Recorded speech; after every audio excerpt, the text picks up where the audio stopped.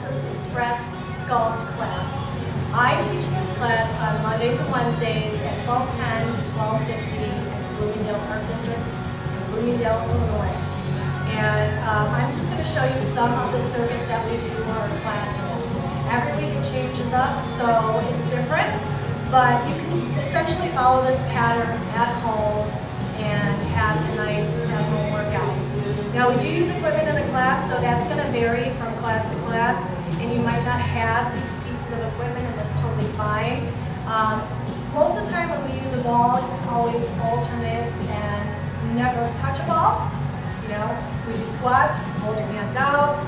There's other various modifications you can do that do not entail the ball. We also have weights. Now, you know, if we're using weights, can't really get around that. I would suggest you invest in a set of dumbbells, free weights. Um, I'm using 10 pounds, but that's kind of my go-to medium. Some people do 12. Um, if you're a male, you might want to do 10, 12, 15s. Females tend to be like 12 and under, um, but you're going to go with a weight that you're most comfortable with. Uh, because we do multiple reps, you have an option. You can get two sets of two different weights. Like I could use a 10 and maybe an 8 or a 6. Um, you can start with maybe a 5 and a, a set of 8s, or a set of 8s and 10s, or sets of 3 and 5s. It just depends where you're at. Um, but higher the reps, usually you go with a lighter weight just because you're going to fatigue out. Or you can stick with the higher weight, but you're going to get towards the end of our three circuits and just be like, oh. So a 40, a 40 minute class is usually about two to three circuits. It depends how many um, types of exercises I throw in it. Uh, an hour can be like three to four circuits. And what I mean by a circuit is what happens is we get a particular set of exercises that we do, we break, um, we either break with a repeating piece of some kind. So maybe just squats, curtsy lunges, things of that nature, or we do cardio, jump squats, squats, excuse me, burpees, um, running in place, we use a BOSU, we jump side to side. It just kind of depends what that repeating piece is going to be. Then our second circuit starts with a different set of exercises, usually four of some kind, body weight and a big body weight um, component. Even though they're horrible, we all hate to do them. Um, so we'll have another segment there. Then we'll have a repeating piece. So that was circuit one, circuit two, And then the third circuit and possibly a fourth one, again, a different combination of exercises.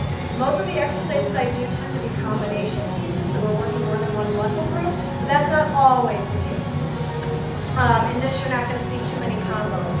Um, but, you know, again, it's just something to do um, that is good for you. It builds muscle, helps tone you up, it's a great stress relief, and you can do cardio until the cows come home.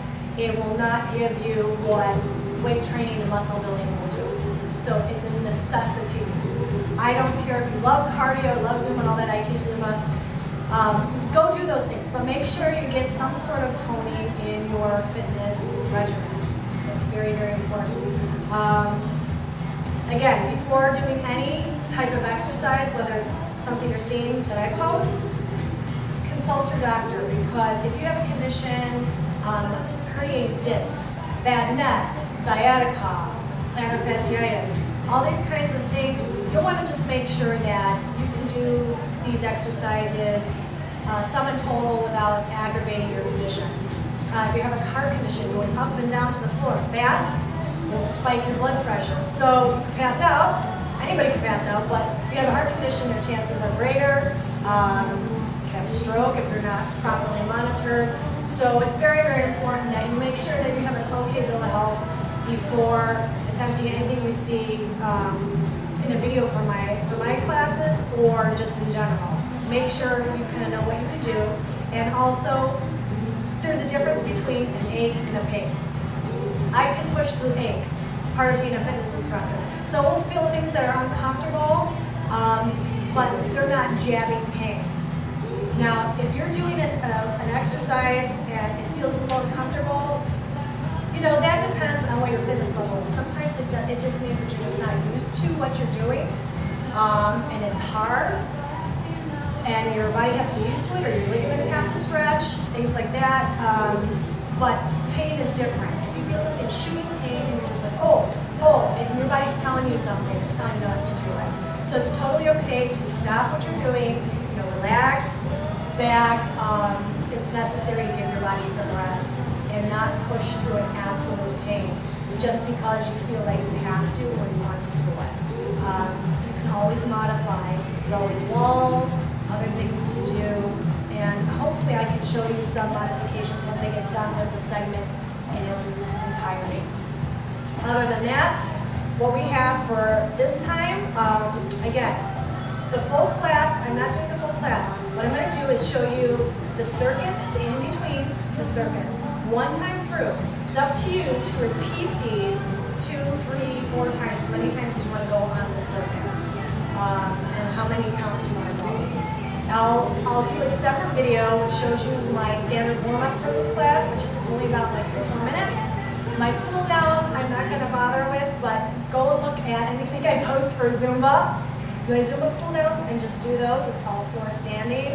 If I do floor cool down, I'll post that um, for you guys to, to learn how to do a cool down for the floor.